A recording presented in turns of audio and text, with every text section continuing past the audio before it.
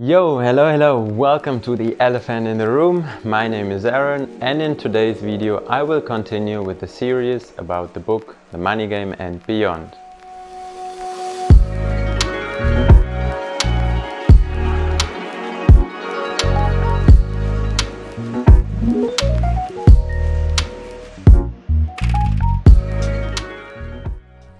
Alright, welcome back. In this video we are going to discuss some interesting ideas that people suggested um, about how to organize societies. So we will continue with the second chapter and um, yeah, in the first chapter we learned how trade came into existence and how it influenced people all over the world how it changes values um, and distorts people's values um, and yeah, trade is not some kind of creature that can be quarantined, but it's rather a type of environment that hugely influences human behavior. And that's what we can see um, all over the world.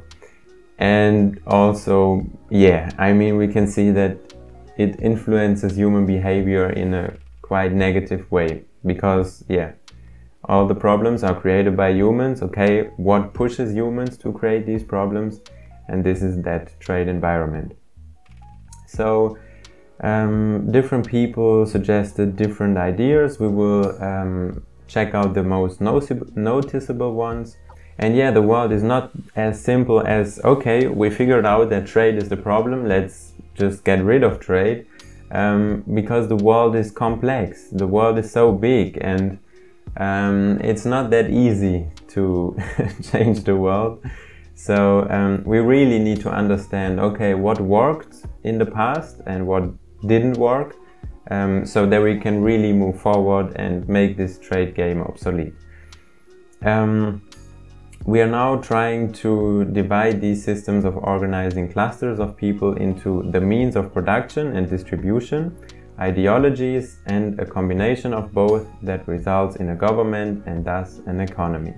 So in this cluster is about um, how the production of goods and services changes how ideologies form and thus how systems of organizing societies emerge and how they are managed. You know, um, we had the era of hunter and gatherers where people lived in small clusters basically and then by the advent of um, farming, things get much more complicated, you know. People are specialized in one thing, other people are specialized in another thing. Um, some doing this, some doing that. We also need to deal with surpluses of food stuff, decision making, and so on. As such societies emerged, inequalities among tribal members became more and more obvious, and one such example is about how women became more and more subordinate to men. And we have this um, social stratification not only between women and men, but also between different cultures and different groups of people. So with that in mind, we will see how different ideals were formed and what they proposed for organizing a society and to help make better sense of them, we will imagine that people are colonizing on Mars. It's gonna be very interesting. So imagine we, um, like human beings, a couple thousands or millions, um, went to Mars and now they are thinking, okay, how can we organize ourselves on Mars? Of course, we need to make sure that um, the um, atmosphere is stable and that we can like grow vegetables and so on. So it's just to help make better sense of these ideas. So as you can see here, these are the people on Mars and they are trying to figure out how to organize themselves. And these are people with different ideas and that's feudalism. And he is proposing to have kings who own the land. And then um, the kings can also um, allow multiple others which are called lords and the lords um, help to manage sections of their land. And then um, he's proposing we need some people who will protect these areas that the kings and lords own. These people protect the land and get something in return, such as goods and services. And then he's also proposing we need the rest of the people to work the land and produce goods and services we all need. They work for the king and his lords, are protected by the land protectors, and in return get to have access to their basic needs. He's continuing with, however, the ones working the land and the ones protecting the land should forever keep their statuses. Thus, they will never become lords or kings. They will inherit these statuses over generations and are bound to respect them, or else the king would punish them, as the king is the one making all the decisions. How does that sound? And then imperialism and colonialism are basically agreeing. That's an awesome idea. I must add though, since there will be so many groups of people here on Mars, we must work to conquer them with our armies. So we need to become strong, have a powerful army, and be fearless. Then colonialism says, oh man, we really think alike. Imagine all of the weaker populations out there that we can conquer and force to adopt our values, thus making us even stronger and stronger in numbers. Authoritarianism and totalitarianism basically totally agree with these guys, but what authoritarianism adds is basically that the king leader must control all aspects of society the science, arts, education, what goods are being produced, what services are allowed, and so on. We need the leader to decide for all of us, or, well, for you Martians. And they look like okay what the fuck we should have a king who like basically decides everything? Um, yeah i think that's not a good idea is it? Then capitalism comes and he says nah hold on. That's completely unfair and quite non-progressive all people should be able to own land and do their own business this way the best products and services get to be made through competition if you do not allow those who work the land or those who protect it to lift their statuses, then you create a stagnant society where people won't be motivated to continually improve the society. Can't you realize that? And then democracy says, and they should all be able to vote for who will be their king, or even what rights they should have. The people must be in power. And then fascism says, oh man, you two are so naive. People have no good judgment, no moral capacity. People cannot be in power. Those in power must decide how the society should be run. While I agree with capitalism to some degree that people should make their own businesses and own parts of Mars, I also agree with the other ones in that the power should stay at the top and the nationality of a group should be kept, even expanded to other tribes through army control. But I might slightly disagree with authoritarianism and totalitarianism as to whom should lead the society. I think it's better to be led by a group of people, let's call them politicians, rather than just one guy, a king or a dictator. And then capitalism argues, well, to be honest, I agree with all of you as long as people can own parts of Mars and make a business out of it.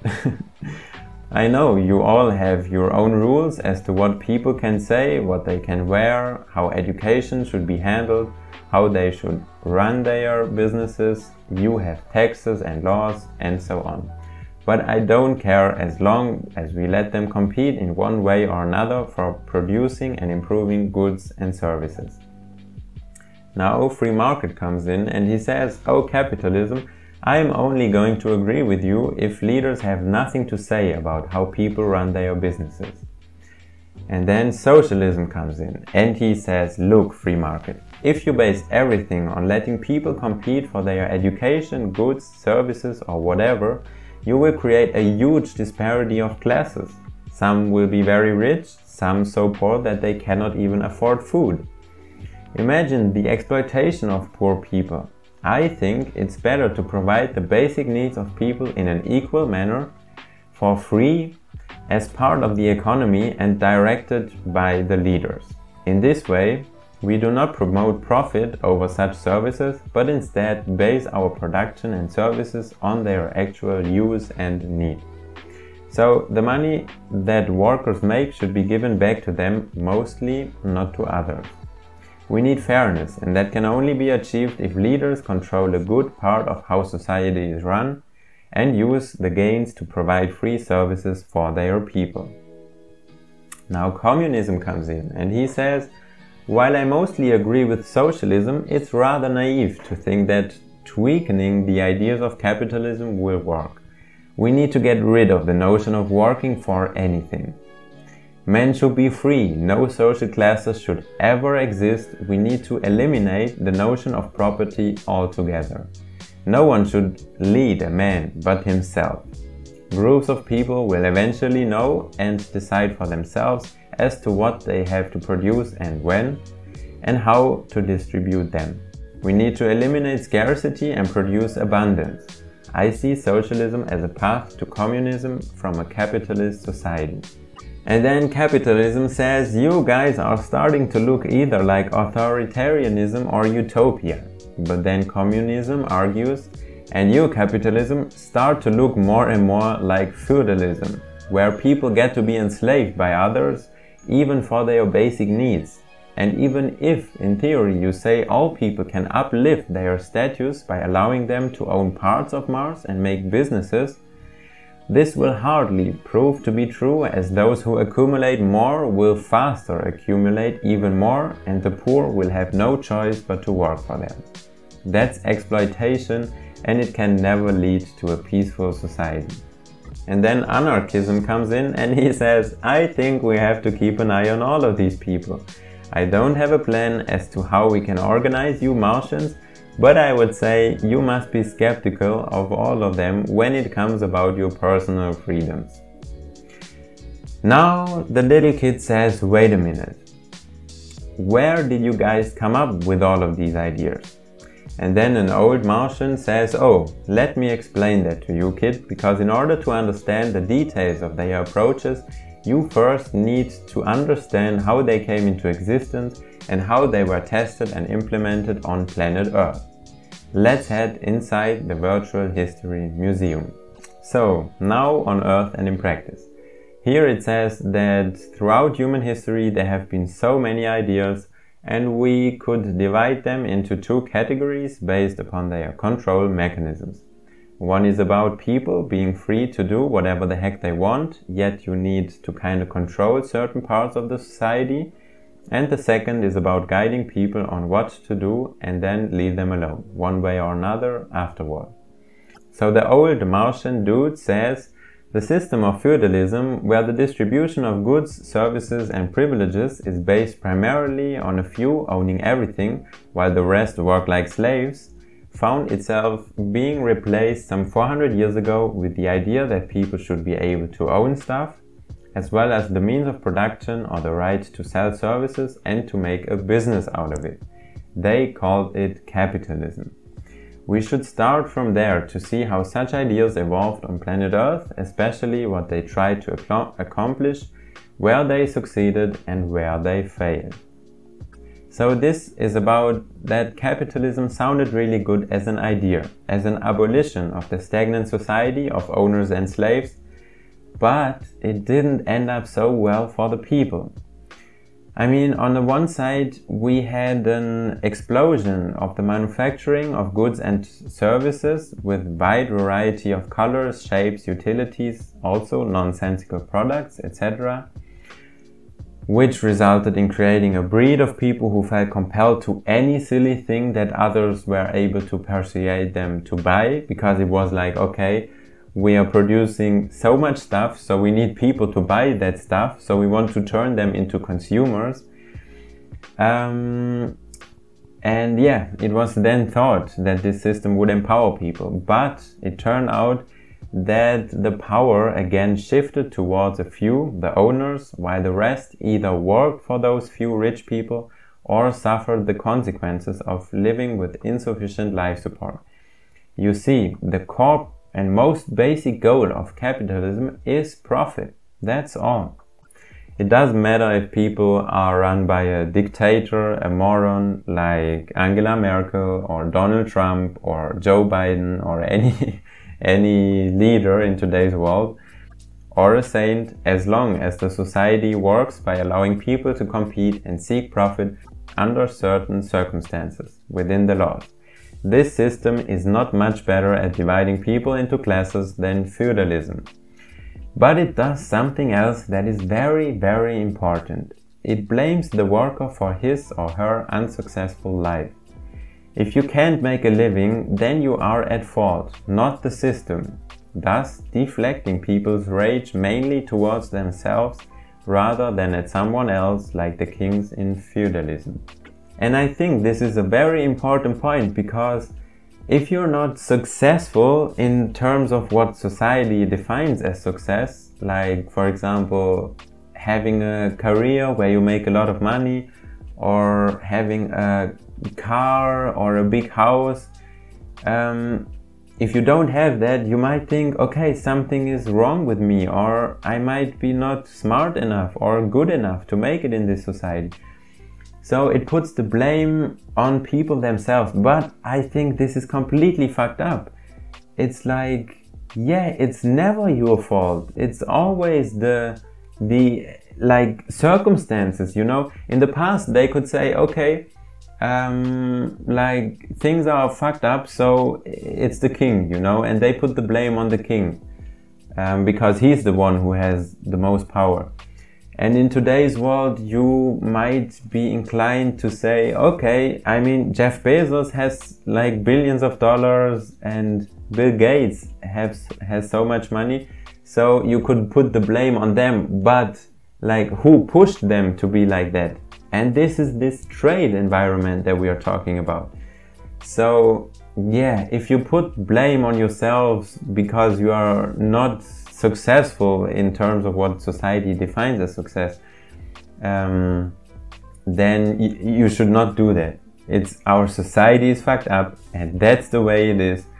And you should not give a shit about society, and you should try to be happy and um, do whatever the fuck you want, to be honest. When a culture is focused on profit, people's lives are put at risk as their needs are ignored, the environment is ransacked, and the people's values and lives are changed forever. The capitalism system has had many rules applied to it, but its core idea of people owning and selling their own services within a profit driven society is still present today in nearly all tribes across planet Earth. And for the sake of it, I want to show you um, the Mercedes-Benz strategy uh, from last year. Um, I, I, just stumbled upon it um, yesterday and I just I had to laugh about it because it's so ridiculous. I mean, and look at this guy. We are living in a time with a mass extinction of species and plants and we have climate change, we have social inequality, we have all the environment pollution and all the plastic pollution in the oceans and so on. And this guy is standing there having a presentation and talking about their main focus is profit. I mean, what the hell? This is a perfect example of how distorted people's values are. They are just morons. That's all they are. They are idiots. They don't know what they're doing. They just, their focus is on money, not about caring about the environment or um, caring about people. All they want is just to sell more cars. That's it. And they do it um, by creating more fancy cars um, with a lot of features and a lot of technology. But in the end, it's just a fucking car. And that's it. And for the future, I would not want to have a car. I just want to get from one place to another in a certain amount of time and it doesn't matter if it's by a car, an autonomous car or by a train or by a bus or by whatever. But I don't want to fucking own a, luxur- a luxurious car. And that's what these guys want to sell. So yeah, just don't waste time with that. It, I just thought it's interesting to show. And what I also want to mention is that Mercedes-Benz is located in Stuttgart and I'm coming from this area actually, from the south of Germany. And I know Stuttgart, I've been there a couple times. So, yeah, all of these people who work for Mercedes Benz, they are also just slaves, um, enslaved by the capitalism system. and um, yeah like engineering a special car. But i mean do, have you ever thought about how many cars we have on planet earth? Don't we have enough cars? Is there do we need more cars? Like yeah whatever. It's just these guys they are just morons. So um, yeah with by continuing um, this is about a free market is not really free because for example I could not say okay I want to sell dog meat now um, because there are always some rules some laws and um, some circumstances or conditions um, when to be able to sell products so here the old Martian guy says um, when he was younger on planet Earth, he had an unlimited internet connection and he took advantage of that but then um, after like 20 days, his account got locked up with a message saying, I'm sorry, but you exceeded the bandwidth limit. Because there was a small disclaimer. And I mean, you might be familiar with that disclaimer, right? It says, okay, this product is this and this, and this subscription is allows you to do that and that. But then there is a small disclaimer, and this means like, okay, you are allowed to do that, but not really, because we are fucking with you, right? so yeah, keep this in mind. Whenever you hear um, of profit over human life and the environment, that is a reflection of the power of profit. That's the essence of capitalism and the free, disclaimer, market at work. The core idea of capitalism is so ridiculous that encouraging wars can be viewed as a great business plan as it reduces unemployment and creates profits for many already wealthy people.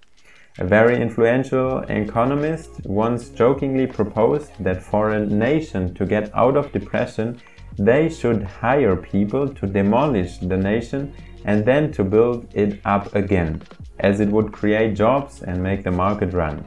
I hope you're getting it now. So the kid says, yeah, I think I get it. It's, it's quite fucked up. But if it's not free and it creates so many issues, why has it become so widely adopted? And then um, the old Martian says, well, the idea of allowing individual humans under certain circumstances to make their own businesses became widely adopted for several reasons.